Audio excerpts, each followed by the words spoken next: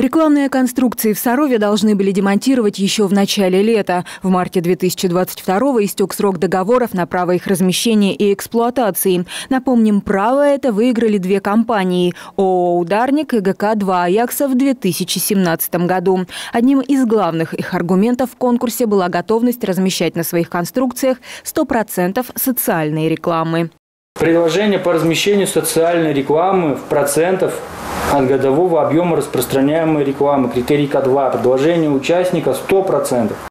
Правом этим, к слову, администрация так и не смогла воспользоваться, когда в 2021 году город решил разместить на конструкциях социальную информацию, ничего не вышло. Переговоры перешли в бесконечную переписку, в результате которой администрация в одностороннем порядке расторгла договор с ударником и двумя аяксами. Рекламщики оспорили решение в суде, однако к тому времени истек срок действия договоров. По закону о рекламе трехдневный срок рекламные кампании должны были убрать все информационные, всю информацию с этих счетов, а через месяц демонтировать их, чтобы мы могли в дальнейшем провести новый конкурс. Мы направляли уведомления, как это у нас э, установлено. Э, конечно же, они проигнорировали и не выполнили это требование по демонтажу. Ну и, соответственно, дальше уже не наше право, а наша обязанность. По закону мы должны это демонтировать за свой счет и потом все убытки э, предъявить этим фирмам, чтобы они их возместили. Администрация объявила аукцион на проведение работ по демонтажу рекламных конструкций. Его выиграла компания «Мартин», которая снизила стоимость контракта более чем на 70% от начальной цены. Однако обязательств своих подрядчик не выполнил. В итоге на всех рекламных конструкциях продолжала появляться коммерческая информация в нарушении закона о рекламе, что наказывается штрафом от 500 тысяч до миллиона рублей. По этим фактам в отношении ООО «Ударник» и ГК-2 «Аякса» возбуждены более более 20 дел об административных правонарушениях. Город тем временем заключил договор на демонтаж конструкции с другим подрядчиком, который выполнил работы в установленные сроки. О времени демонтажа администрация не единожды предупреждала собственников конструкций.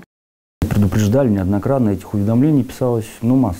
Я уж точно цифру не скажу, но это было даже не одно, и не два, и не три. Это было много уведомлений, что все, все сроки прошли, мы ездили, составляли акты, что действительно конструкции стоят, эксплуатируются, их никто не собирается убирать, и более того, что они дальше размещают рекламу.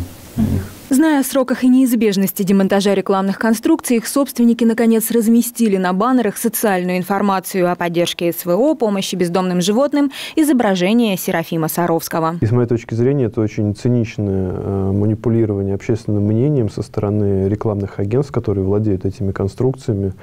А, зная о том, что будет демонтаж, разместили на нем баннер в поддержку там, специальной военной операции, в поддержку президента Российской Федерации, тем самым пытаясь, а, как-то повлиять на администрацию э, с точки зрения там, отложить или исключить демонтаж этих рекламных конструкций. Но еще раз повторюсь, это очень циничное поведение со стороны бизнеса, попытки а, отстоять свои коммерческие интересы в первую очередь в этом вопросе. В администрации подчеркнули, они не имеют права оставить незаконные баннеры, чтобы на них не было изображено. Есть требования, которые должны исполняться. Также нет законных оснований принять это имущество на баланс города. Кроме того, пересмотрена схема размещения рекламных конструкций в Сарове. Их станет почти вдвое меньше. Некоторые поменяют место расположения.